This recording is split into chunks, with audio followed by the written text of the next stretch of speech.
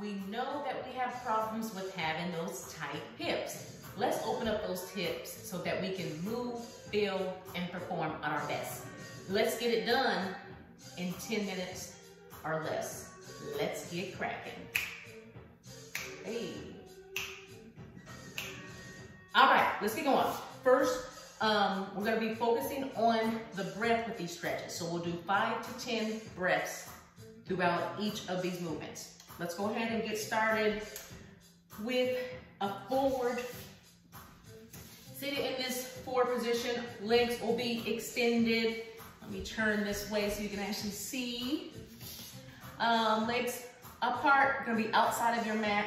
You're gonna breathe, cup those hands together, and we're gonna reach forward to your first comfort level, five to 10 breaths. We'll take it back up and we're gonna actually reach a little bit farther the second time around.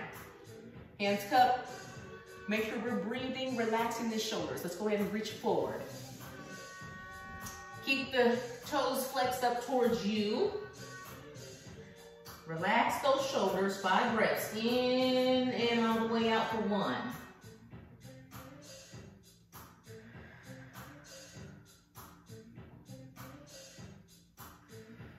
Relax into it, relax into it.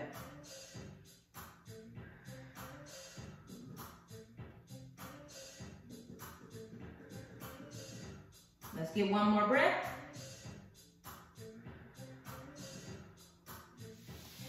Come back up. When you're sitting a lot, those hips get tight. The fronts of your thighs, hips stay in that little crunch position all day long. A lot of times our shoulders come forward, we're hunched forward, our necks are all in weird positions. We gotta open those up, especially if you want to decrease chances of back pain, aches, and being able to perform with our daily exercise. All right, hands out in front again. Now we're gonna inch it forward a little bit farther. Five more breaths, let's get it. Relax shoulders.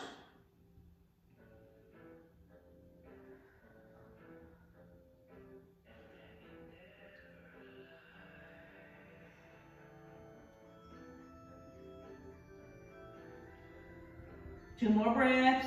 In and out.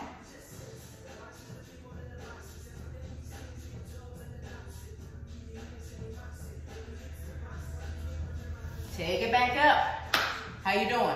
All right, let's keep at it. All right, now what we're gonna do is we reach forward, begin to feel that stretch in the inside. Now we're gonna get into all fours. Hands and knees, Arms underneath your shoulders. Keep your feet flat. Don't hunch up here. Shoulders away from ears. This position here, now we're gonna go into a little bit of a forward lunge. Might be a challenge for some. Gonna bring right foot forward and lean your body forward.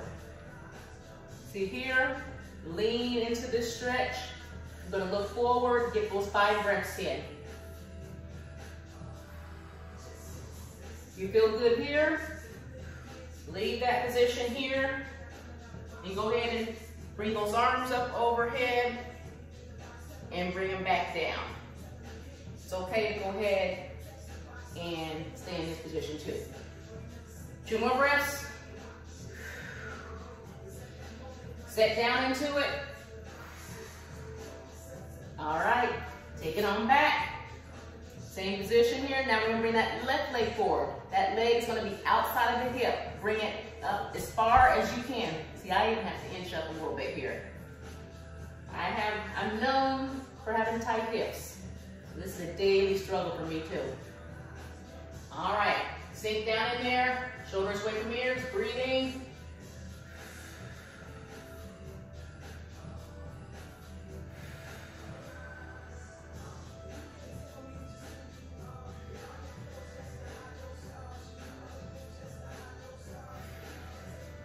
One more. All right, come on back, bring that leg on down, arms are still down. Now we're gonna go up into a downward facing dog position. Curl those feet under. We're gonna press through our hips and press back. Relax those shoulders away from ears. Get down as far as you can. Get some good press, not, don't put a bunch of pressure on the front of those hands. Let's breathe.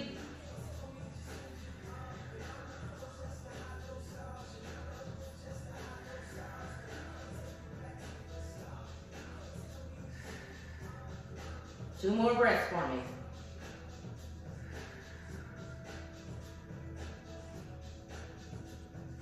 Can't see my face, can you? How we doing? You're looking good.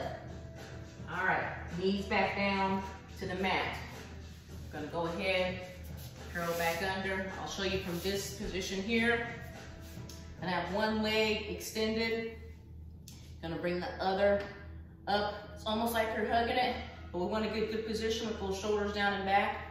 Hug here, and we're gonna do a rotation.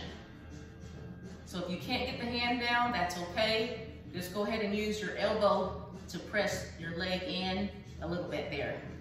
Still, good position, up nice and tall. Let's keep, yeah, this foot's doing something. Let's keep it towards you. And see if we can get a good deep stretch. Good breaths, in. Good.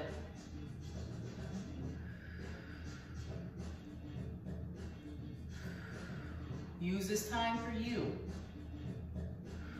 You work 10 minutes, right?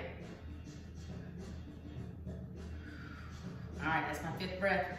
Now we're gonna un untwine ourselves. Cross that other leg open. You might feel that one side stiffer than the other. That's okay. I have that as well. Crossing. I'm gonna turn away from you for a little bit. Stretch. Good. I'm tighter on this side. Let's get our breaths in.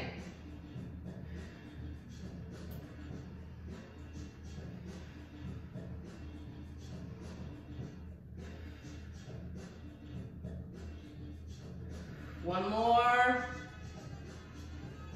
Remember, five is our goal. All right, untwined there. Now we're gonna take it back on all fours. Last good hip opener for us. Make your legs a little bit wider on each side of your mat, especially so you can get a little bit more ability coming back if you have some stiffness, stiffness, stiffness. Leaning forward. All right, arms out in front. You're gonna lean back Taking your butt toward your heels in that child's pose position. Let's get our five reps in for this. And if you feel comfortable, you can sink down a little bit lower. And if you feel real good, you can let that head touch the mat. I'm not there yet today, ladies.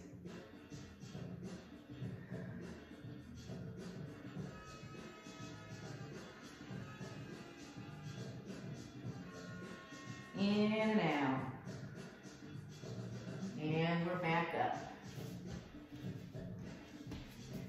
Last but not least, they're gonna go into a Shavasana pose. Now, this is the yoga where you go into what's called corpse position, relaxing and resting. And you can do this up until five or 10 minutes after your practice, at the end of your practice, or yoga, stretch, whatever you wanna call it. So here, don't do a thing, relax. Those legs down, palms are gonna be up. You're just gonna lay and be, not thinking about anything, shoulders away from your ears. Relax, release, and reset. Good breathing here. I'm gonna sign off here in about 45 seconds or so, but you can stay down here as long as you like.